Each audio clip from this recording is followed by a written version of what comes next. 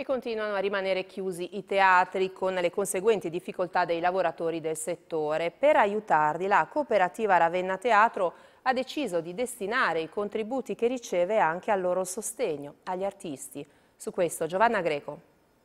Il teatro è un dialogo che deve avvenire nell'incontro proprio con l'altro in carne e ossa. Il teatro in streaming è una forma diversa, ma appunto non la forma, non la destinazione e sicuramente eh, non il senso che secondo me ha lo stare in scena.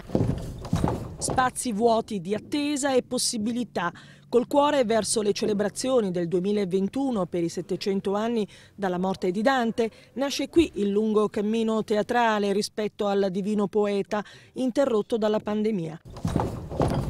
Nella chiesa monastica di Santa Chiara, costruita nel 1250, prende vita a fine Ottocento il Teatro Rasi. In questo luogo poetico trova casa nel 1991 Ravenna Teatro, cooperativa che conta più di 30 dipendenti, centro di produzione teatrale che riceve contributi ministeriali, regionali e comunali.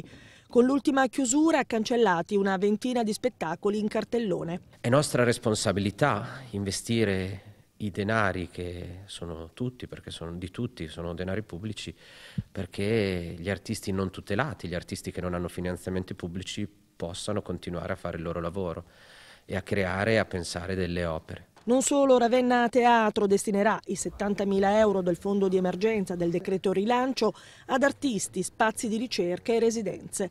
Non mancano i timori di chi sa cibare le nostre anime. La paura è quella che tutto un patrimonio, a partire dalla nostra città, eh, ma per guardarla più ampio, il nostro paese, non solo, si disperda e non esista più perché, perché questa pandemia mette in crisi anche delle vite dei lavoratori.